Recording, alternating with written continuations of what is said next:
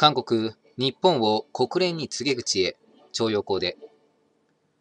本日、いわゆる徴用工問題において、韓国側が国連人権高等弁務官事務所に対し、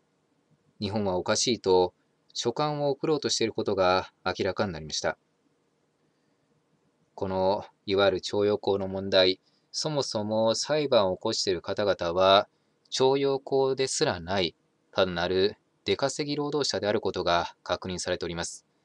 また、何らかの問題があったとしても、日韓請求権協定によって完全に解決されており、韓国側の動きは違法行為、犯罪行為であると言わざるを得ません。日本政府にはこういった韓国側の動きに対してしっかりと韓国政府や国連に圧力をかけていただき、これ以上、韓国政府による反日活動によって、日本が、国民が被害を受けないように対処していただくようお願いいたします。以上になります。ご清聴いただきありがとうございました。